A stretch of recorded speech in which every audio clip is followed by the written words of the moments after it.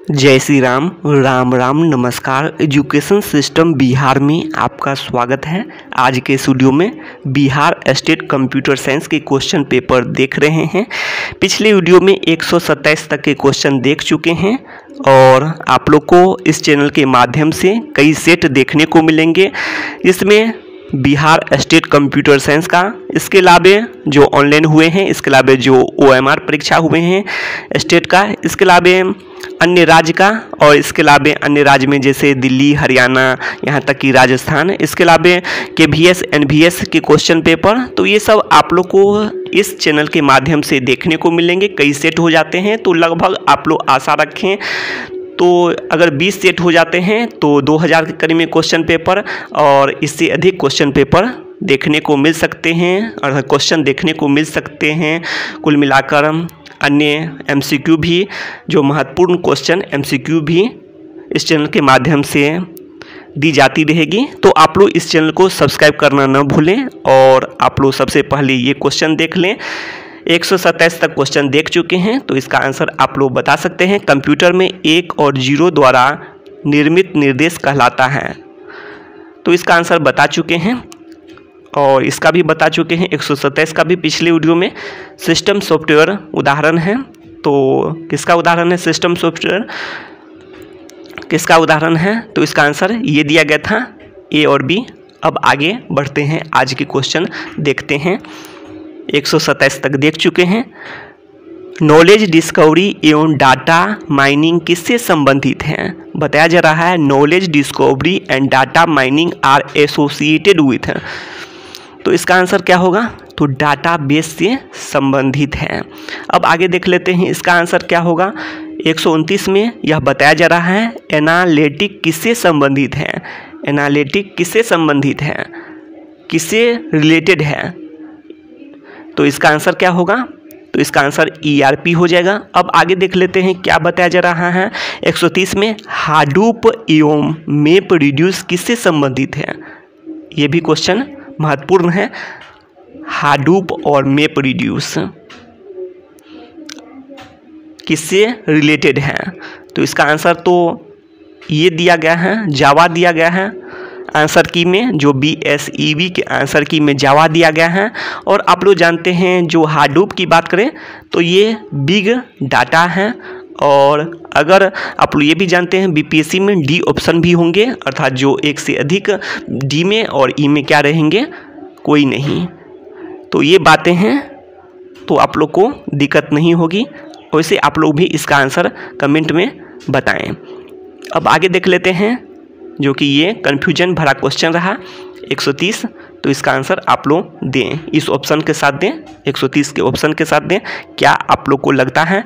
और आप लोग देख सकते हैं 131 में डाइस प्रोग्राम का पिक्टोरियल रिप्रेजेंटेशन है। और आप लोग देख रहे होंगे, इसका मतलब क्या है? Dice is a pictorial representation of a program dice is a pictorial representation of a program program का पिक्टोरियल रिप्रेजेंटेशन को क्या कहते हैं? फ्लो चार्ट अब आगे देख लेते हैं। क्या बताया जा रहा है? इन हेरिटेंस क्या रिफ्लेक्ट्स करता है? तो क्या होगा? इनहेरिटेंस रिफ्लेक्ट्स एसोसिएशन अब आगे देख लेते हैं। ईडीआई e एक प्रकार का डाइस है। EDI is a kind of program तो इसका आंसर आप लोग प्रोग्राम लगा देंगे। अब आगे देख लेते हैं। एक सौ चौंतीस में दिया गया है। तो इसका आंसर क्या होगा? एक सौ चौंतीस में देख लेते हैं। आप लोग देख लीजिए। रीड लाइन डॉट दिया गया। रीडर डॉट रीड लाइन तो ये इनपुट सिंटेक्स फॉर जावा अब आगे देख लेते हैं। पाइथन का ये भी क्वेश्चन रहा। तो इसमें देख सकते हैं। पाइथन एक बार पूछा गया पाइथन क्या है? तो प्रोग्रामिंग लैंग्वेज है और ये भी पाइथन के क्वेश्चन उसमें भी दिए गए थे। 18 सितंबर के क्वेश्चन पेपर में भी ये ऑनलाइन क्वेश्चन पेपर जो हुआ था आयोजित, उसका है। अब आगे देख लेते हैं आप लोग। 136 का क्या होगा? ट्राई कैच देखते ही, आप लोग जानते ही हैं। लगा देंगे एक्सेप्शन हैंडलिंग जवाब में दिया गया है ट्राई कैच अब आगे देख लेते हैं।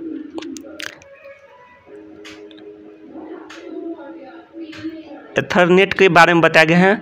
इथरनेट के बारे में तो एन और ये पूछ दिया जाए। देख लेते हैं एन आप लोग देख लिए हैं। इसमें आगे भी बातें करते रहेंगे। और यहाँ पर जो आप लोग को देखने को मिलेगा, एक सौ अड़तीस में कुछ नहीं देखना है। फ़ाइल भी वैसे दे दिया गया है। अलग से फ़ाइल देखते ही आप लोग लगा सकते हैं। ट्रांसफ़र फ़ाइल, ट्रांसफ़र और फ़ाइल देखते ही फ़ाइल ट्रांसफ़र प्रोटोकॉल लगा सकते हैं। डाइस ईजे अब देख लेते हैं क्या दिया गया है। Dice is used to transfer files from one computer to another computer dice का उपयोग फ़ाइल को एक कंप्यूटर से दूसरे कंप्यूटर में ट्रांसफ़र करने के लिए करते हैं। तो एफटीपी हो जाएगा। अब आगे देख लेते हैं क्या है इसमें दिया गया है। तो आप लोग देख लें, जो मेल के सेंड और रिसीव की बातें की गई हैं डाइस का उपयोग मेल सेंड और रिसीव करने के लिए उपयोग करते हैं। Dash is used to send and receive mail तो मेल के सेंड और रिसीव के लिए क्या उपयोग करते हैं? ईमेल दिया गया है। अब आगे देख लेते हैं। प्रोटोकॉल की बात करें तो आप लोग बताएँ। अब आगे देख लेते हैं। यहाँ पर आप लोग देखें सिंपल मेल ट्रांसफ़र प्रोटोकॉल अब आगे देख लीजिए आप लोग एस टी एम एल का अर्थ एस टी एम एल का अर्थ के बारे में बताएँ। तो एस टी एम एल का अर्थ क्या होता है? हाइपर टेक्स्ट मार्कअप लैंग्वेज ये आप लोग जानते ही हैं। अब आगे देख लेते हैं 141 में क्या दिया गया है? टी के बारे में। तो टी क्या है? टी सी प्रोटोकॉल है। आप लोग जानते हैं टीसीपी और यूडीपी की बात करें। टीसीपी जो कि ये सभी किस लेयर पर हैं? तो ट्रांसपोर्ट लेयर पर हैं और टीसीपी टीसीपी की बात करें तो ये कनेक्शन ओरिएंटेड है कनेक्शन ओरिएंटेड और यूडीपी की बात करें तो कनेक्शन लेस हैं। और इससे ही आप लोग जान सकते हैं और एफटीपी की बात करें या फिर जो सबसे पहले नेटवर्क लेयर में देख लेते हैं कौन कौन है तो नेटवर्क लेयर में आईपी हो जाएगा। आईपी होगा ए आरपी होगा एड्रेस रिजोल्यूशन प्रोटोकॉल और आईपी से मैक में। और इसके अलावा आईपी में ही आईपी वी फोर और वी सिक्स भी है। और इसके अलावा RIP होगा तो ये सब नेटवर्क का है और एप्लीकेशन प्रोटोकॉल की बात करें तो एप्लीकेशन में होगा एच तो HTTP होगा एफ़ होगा, ये सब हैं। और इसके अलावा जो और भी हैं, आगे बातें करते रहेंगे। और URL का अर्थ, बातें करें तो URL का अर्थ क्या होगा तो यूनिफॉर्म रिसोर्स लोकेटर हो जाएगा यूनिफॉर्म रिसोर्स लोकेटर हो जाएगा। अब आगे देख लेते हैं, और यहाँ पर क्या दिया गया है algebra of logic is termed as तो B B S E B का आंसर में दिया गया है, ये दिया गया है। और बहुत सारे जो अभ्यर्थी उस समय की बात करें तो ये, कुछ अभ्यर्थी की बात करें, बहुत सारे नहीं कर सकते, कुछ अभ्यर्थी ये मानते हैं। आप लोग कन्फ्यूज़न भरा इस क्वेश्चन का आंसर आप लोग कमेंट करना न भूलें। अब आगे देख लेते हैं इसमें। इसका आंसर तो बी एस ई बी के द्वारा ये दिया गया है। सी दिया गया है। बी एस सी बी द्वारा क्या दिया गया है? सी दिया गया है। तो इसको आप लोग को कमेंट करने हैं। सी दिया गया है बी एस सी बी द्वारा सी दिया गया है। सी अब आगे देख लेते हैं। और नेट पर भी सी देखने को मिला है एक जगह। क्या है question algebra of logic is termed as C he answer देखने को मिला है नेट पर भी। अब आगे देख लीजिए। बुलियन यहाँ पर देख लेते हैं। Boolean algebra can be use इसमें क्या दिया जाएगा? तो इसका आंसर है, Boolean algebra can be use ये होगा ये होगा इसका answer. Designing of the digital computers. Designing of the digital computers. अब आगे देख लेते हैं, इसमें क्या दिया गया है? A dice value is represented by a Boolean expression. तो बुलियन वैल्यू हो जाएगा। एक सौ छियालीस क्वेश्चन आप लोग देख लोगे। बुलियन एक्सप्रेशंस के विहित रूप क्या हैं? विहित मतलब canonical forms of Boolean expressions तो क्या होगा इसका आंसर तो इसका आंसर बी एस ई द्वारा दिया गया है। ये होगा। और आप लोग जानते हैं मीन टर्म और मैक्स टर्म के बारे में। मीन टर्म सम ऑफ़ जो सम ऑफ़ जो प्रोडक्ट और प्रोडक्ट ऑफ़ सम इसके बारे में आप लोग जानते ही हैं के मैप में। तो इस पर ज़्यादा अभी बातें नहीं करेंगे बुलियन एक्सप्रेशन के बारे में आगे बातें करेंगे। अब आगे देख लीजिए आप लोग, एक सौ सैंतालीस में क्या दिया गया है? और एक सौ सैंतालीस में दिया गया है, the logic gate that provides दिया गया है। The logic gate that provides high output for same input. Same input के लिए हाई आउटपुट के बारे में बताया जा रहा है। सेम इनपुट सेम इनपुट मतलब ज़ीरो ज़ीरो हो गया, वन वन हो गया, सेम इनपुट हुआ और इसके लिए हाई आउटपुट मतलब वन वन प्राप्त होना। तो ये क्या हो सकता है? जैसा कि आप लोग जानते हैं, सिमिलर के केस में दो बातें बनती हैं, या तो ये बनता है, या फिर या बन, ये बनता है। सेम की बातें हों, हाई आउटपुट प्राप्त हो यदि सेम रहने पर तो ये हो जाएगा इसका आंसर। अगर लो इन, लो आउटपुट की बातें की जाती तो ये होता है सेम रहने पर लो लो आउटपुट तो ये होता।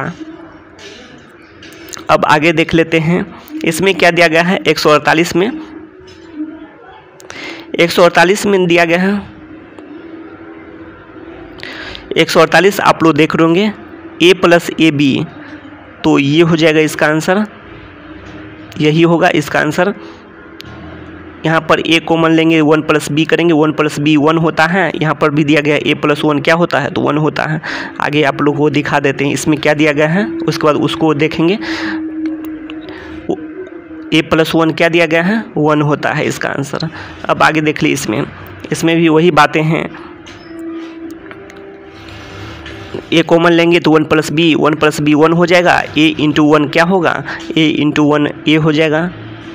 150 में भी आप लोग ए को ए प्लस बी जो है उसमें मल्टीप्लाई करेंगे तो ए ए होगा और A plus A plus B को ए से मल्टीप्लाई करेंगे तो ए ए और ए बी। प्लस में ए बी। तो ए ए मतलब ए हुआ, A plus A B, A plus A B. और फिर ए कॉमन ले लेंगे तो ए और वन प्लस बी होगा, वन प्लस बी वन होता है तो इसका आंसर ए ही हो जाएगा। वही बातें हैं, इसमें सिर्फ़ सबसे पहले आप लोग को मल्टीप्लाई करने होंगे, उसके बाद प्रोसेस आपको इसके जैसे करने होंगे, इसके जैसे, एक सौ अड़तालीस के जैसे तो आप लोग को आंसर मिल जाएगा, ए होगा इसका आंसर।